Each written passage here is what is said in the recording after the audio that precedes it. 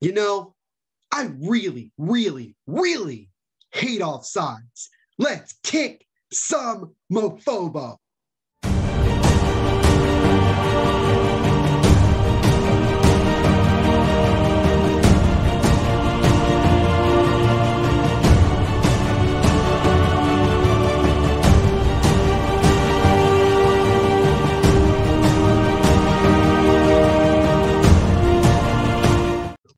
Going on, my beautiful people? My name is Neil Villapiano, and welcome to Mofobo, the show with hot takes and even hotter picks. I got a question for you.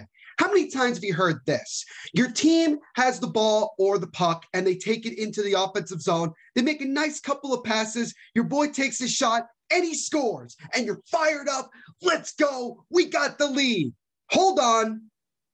It's being called for offsides. Now they're challenging the play. What is offsides? What is determined to be offsides? This, that, everything, all this crazy nonsense. They come back five minutes later and the refs wave it off. No goal. Oh. Today, we're going to be talking about why I think that the offsides rule in sports is without a doubt the dumbest rule ever invented in the history of modern sports. Now, the two biggest sports that use the term offsides, and it has been a term for a lot of controversy, is soccer and hockey. There is offsides in football, but at least that is somewhat half decent of a rule. But let me read you the definition of what the rule in soccer is for offsides. According to the soccer rule book, a player is in an offsides position if he is nearer to his opponent's goal line than both the ball and the second to last opponent. A violation will occur when he is in an offsides position, previous bullet points, whatever that means, at the same time the ball is being passed forward to him. Nobody gets that. Not even the people who watch this sport on a daily basis understand that. That makes literally no sense. Now, let's use the hockey version of offsides. A player is judged to be offsides if both of their skates completely cross the blue line, dividing their offensive zone from the neutral zone before the puck completely crosses the same line. Okay. If any individual player is in an offsides position, their entire team is offsides. Guys, even in hockey, nobody understands what offsides is. The amount of times that I have watched a soccer game or a hockey game where an offside has been made and it's blatantly obvious that it wasn't has been ridiculous. And nobody understands really what the definitive ter- you know name of this rule is and what it actually means. And this is the thing that is so unbelievably frustrating. Do you understand how complicated that sounds? People who play and watch these sports don't even know what the rule really is. I mean we have rules in place where people can challenge these things, especially in hockey now. In the NHL, you can challenge it for offsides. And it's I've seen it happen where the, they have a whole sequence in the offensive zone that takes about five or six minutes. Somebody finally scores, and then they decide to review it and they wave it up for no goal. And then they have to go back in time to freaking redo the whole five minutes because there was no stoppage in play. I mean, to me, this is the dumbest thing. And I know that there are a lot of purists out there that want to say, well, Neil, it's a way to make it more competitive so that people are not cherry picking. So, you know what? Here in the United States, we're all about high scores. We're all about guys putting the ball or puck in the back of the net, having big, you know, leads like six to five, you know, seven to nine or whatever the case may be. We want to see goals. We want to see a lot of scoring. We don't want to see one nil or one nothing or two to one because unless you're a purist, that type of game doesn't excite you if you're a regular sports fan. That's the thing that's frustrating about it. And this rule has been changed so many times as to what's definitive to offsides. And a lot of the time, the offsides is about this much. Do you see that? This freaking much. It makes absolutely no sense whatsoever. Now, I'm sure a lot of you are wondering, well, where did this offsides rule come from? Well, let's start with the British, with where the offsides rule in soccer or football, depending on where you are in this world, came from. The Scottish football, I guess you'd say, or they call it the Scottish FA, urged a change from a three player to a two player offsides rule as early as 1893. Nobody in this world is still alive from 1893, in case you were wondering. Such a change was first proposed at a meeting of IFAB in 1894, where it was rejected. It was proposed again by the SFA in 1902 upon the urging of Celtic FC, and again rejected. They should have remained rejected. They should have never decided years later to then go, oh, okay, let's put an offsides rule in. They should have kept it rejected for the rest of time. They should have absolutely kept it that way. If you do that, we'd have a lot more exciting games. And I almost guarantee you that soccer would be much more popular, especially in the United States, if that rule didn't exist. You have a major soccer league in the United States in Major League Soccer, and they want to follow all the British rules. That's why nobody takes them seriously here in the United States. That is why it's not getting as big as it can be. Now, there's also promotion problems that they have, but rules like offsides make it very boring and very frustrating and complicated. And any soccer purist that tries to explain to a regular sports fan what offsides is, they'll immediately want to tune it out and stop watching because it makes no sense. It's not exciting. It's not entertaining.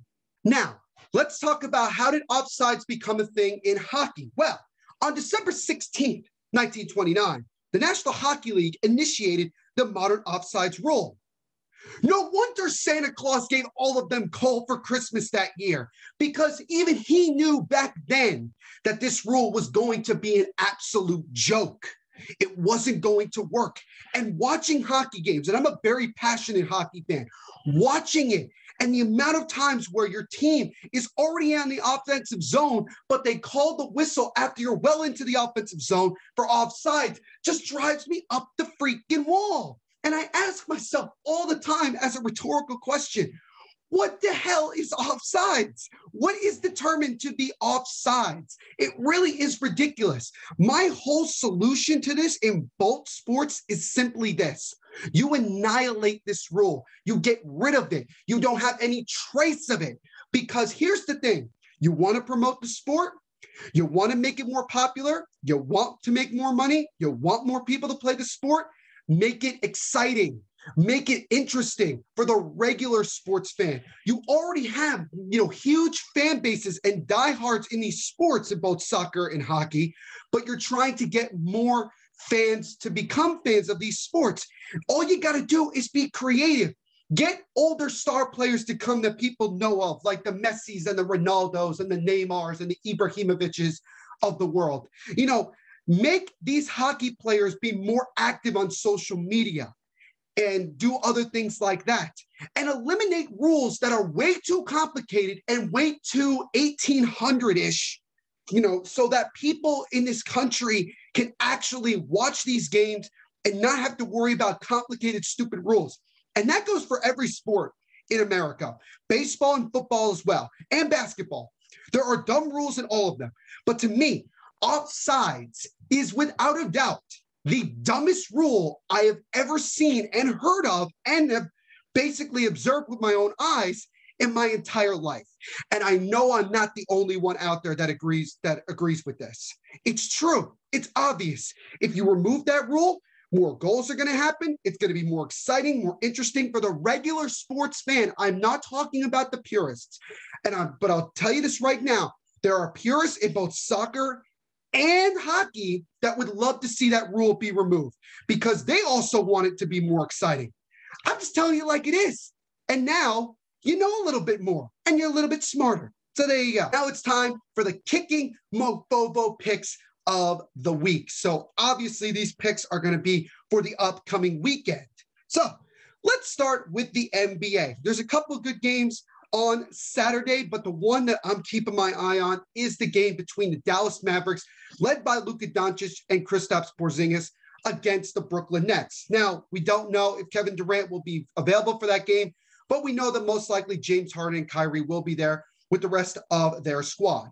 And that's going to be a good game. But I got to be honest with you. The Brooklyn Nets have been rolling, coming off a 5 0 West Coast road trip, kicking Mofobo against some of the best teams in the Western Conference and in the NBA. And I have them dominating this one, coming away with a 20 plus point victory. You can book it right now. Go to the track, go to wherever you got to go, and put your money down that the Nets are going to win by 20 plus against the Mavericks on Saturday. Now let's shift to the NHL. Hockey. You know, there's also a couple of really good games, but the one that I'm keeping my eye on and that a lot of hockey fans are going to be keeping their eye on is a matchup between two of the top players in the NHL, and that is Auston Matthews of the Toronto Maple Leafs and Connor McDavid of the Edmonton Oilers. And I got a couple of picks for this one. First, give me the Maple Leafs to beat the Oilers by at least two goals. I think the goaltending of the Oilers is suspect. I think the Maple Leafs are starting to kick absolute mofobo after blowing a four goal lead last week against the hapless Ottawa Senators. And also, give me Auston Matthews to get at least two points. It could be two goals, it could be two assists, it could be a goal and an assist, whatever you want to put down. But put down that the Maple Leafs are going to win by at least two goals, and Auston Matthews will have at least a two point night. And now we'll shift to college basketball. Folks, we're very, very close to March Madness, but we already still have a couple of really good matchups to kind of finish off the regular season. This one is going to be between number nine Iowa and number four Ohio State. This could be a matchup that we could see down the road. Hell, maybe even in the national tournament if things go the way that everybody wants them to go. But I have the Iowa Hawkeyes, led by arguably the best player in college basketball, Luka Garza, beating the Buckeyes by at least eight points. And Garza will have a 20 point, 10 plus rebound double double in that victory. And last, and this is the first time I've ever done this, we have college football to talk about a little bit. Yes, a lot of the football conference schools, the FCS, ended up deciding to play some of their games or basically all of their games in the spring. So they have like a five, six game schedule, most of them. And the biggest matchup that I saw going into this weekend is between James Madison and Robert Morris. Now, James Madison won their home opener 52 to nothing. For Robert Morris, this is their first game of the season. How do I think this is going to go? Give me the Dukes to win by at least 30 points. I think the offense of James Madison, a team that just a year and change ago was in the national championship game, I think they're just going to kick absolute mofobo. They're going to be cooking with gas. They're going to be marching up up and down the field all game long. And I think Robert Morris is going to have a lot of difficulty staying with them. So put down that the Dukes of James Madison are going to end up beating Robert Morris by at least 30 points. And that, ladies and gentlemen, is your kicking mofobo picks of the week. And by the way, if you can't bet in any of the states, particularly here in New Jersey, the home of Mofobo, then you, my friend, are going to be in deep trouble. And if I find out that you are betting in a place where betting is not fully legal yet, I'm going to find you and kick your Mofobo. With that being said, that'll do it for this edition of Mofobo. Thank you guys, as always, for checking out these videos. I do greatly appreciate it. We post new videos every single Friday right here on YouTube. Continue to be the awesome people that you are. And everybody out there, kick some mofobo.